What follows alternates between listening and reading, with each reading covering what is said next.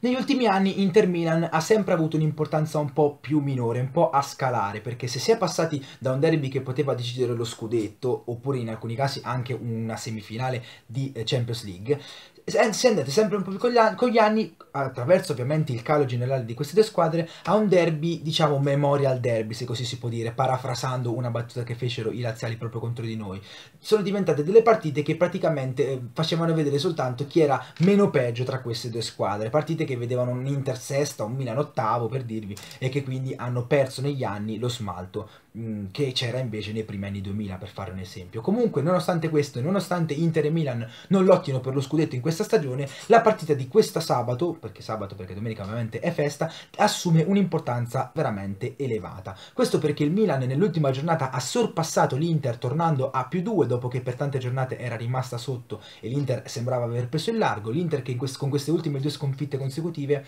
ha diciamo quasi compromesso il suo cammino in questo campionato e il Milan la difesa fatto superato grazie alla vittoria per 4-0 contro il Palermo. Il Milan che secondo me non ha una squadra più forte dell'Inter, anzi l'Inter per me è più forte tecnicamente, però c'è anche da dire che l'Inter ha speso molto di più sul mercato rispetto al Milan, che ha semplicemente fatto qualche aggiustamento qui e là, ha preso giusto Deleuve a gennaio,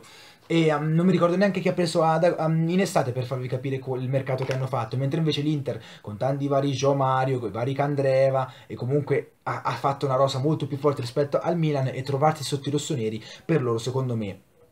da esterno è veramente quasi una sconfitta già solo questo. E comunque diciamo che a questo derby per forza di cose ci arriva meglio il Milan piuttosto che l'Inter. Il Milan che comunque nonostante una rosa appunto inferiore rispetto all'Inter ha trovato diciamo serenità. Ha diciamo ha iniziato a vincere quelle partite che una squadra deve vincere per andare avanti in campionato perché i campionati non si vincono solo battendo la Juve o battendo le grandi squadre in campionato ma si vincono anche battendo le squadre più piccole. È vero che comunque il Milan ha pareggiato con il il Pescara nella precedente partita dopo il, dopo il Palermo, però comunque ha saputo rialzarsi subito dopo. Diciamo ha fatto un po' quello che ha fatto la Roma nell'anno di Zeman, perché non so se ricordate, pareggiamo 1-1 col Pescara e la partita dopo vincemmo 4-0 contro il Siena di allora, mentre invece in questo caso parliamo del Palermo. Comunque siamo stati bravi, sia noi in quel caso che il Milan in questo caso, a rialzarsi subito e a non precipitare sempre di più dopo quel brutto pareggio. E quindi secondo me attualmente a livello mentale ci arriva più,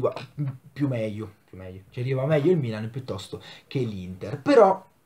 bisogna dire anche un'altra verità, quello che ho detto inizialmente, l'Inter è più forte dal punto di vista tecnico e qui secondo me giocherà molto a favore di ognuna delle due squadre come deciderà il mister di improntare la partita, perché diciamo che Pioli in questo momento è molto criticato perché eh, una parte della tifoseria dice che è solo il colpevole di tutto quanto, mentre invece un'altra parte della tifoseria, forse più ampia, dice che invece lui è un martire e i colpevoli sono principalmente i giocatori che sono pagati per fare schifo in campo. Comunque il malumore ti porta sempre ad avere tutti questi giudizi a colpa di di una, è colpa di l'altra, è colpa di destra, è colpa di sinistra. E quindi diciamo che anche per questo motivo l'ambiente dell'Inter non è sereno. Quindi Pioli, per me, se vuole vincere questo derby, deve togliersi di dosso tutte le critiche che gli stanno piovendo in queste giornate e mettere una squadra equilibrata dal primo all'ultimo giocatore. Una squadra che comunque deve saper colpire al momento giusto e deve stare attenta anche a, subire, a non subire i contropiedi, perché Delofeu per il Milan è un grandissimo contropiedista, ma soprattutto, ma soprattutto parlando del discorso di eh, colpire nel momento opportuno, lo dico soprattutto perché il Milan molti non lo sanno, ma è la terza miglior difesa del campionato, dopo soltanto Juve e Roma, ha una difesa persino migliore rispetto al Napoli. Terzo, quindi comunque mh, per l'Inter sarà importante sfruttare bene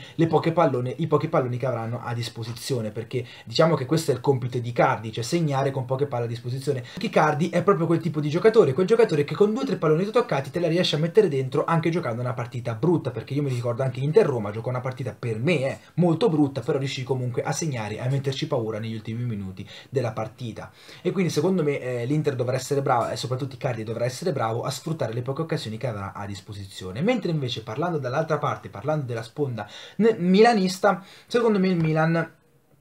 dovrà sfruttare a proprio vantaggio la situazione diciamo negativa dell'Inter in questo momento perché l'Inter come vi ho detto finora è molto forte è più forte però mh, mm, deve sapersi rialzare dal punto di vista mentale quindi magari per il Milan segnare un gol subito sarebbe molto importante perché faresti precipitare ulteriormente un ambiente che è già rovente quindi se da una parte l'Inter deve riuscire a essere più calma e a segnare nei momenti più opportuni il Milan per poter vincere secondo me dovrebbe segnare subito dovrebbe attaccare subito con grande grande grinta per colpire l'Inter nei primi minuti e farli sprofondare sempre di più dal punto di vista mentale, perché già attualmente sono sull'orlo del baratro, sono da, dal poter diventare grandi o dal poter diventare piccoli, se così si può dire, e quindi segnargli un gol subito potrebbe essere importante per mettere fin da subito le basi della partita a proprio vantaggio. Comunque, secondo me, è un derby molto equilibrato perché da una parte vediamo una squadra più forte tecnicamente, ma in questo momento con un ambiente molto negativo, mentre invece dall'altra parte vediamo una squadra meno forte tecnicamente, ma un ambiente molto più positivo, soprattutto dopo i recenti risultati in campionato. Fatemi sapere invece voi nei commenti qual è secondo voi la favorita di questo derby importantissimo per queste due squadre che potrebbe valere Europa nel caso di un'altra squadra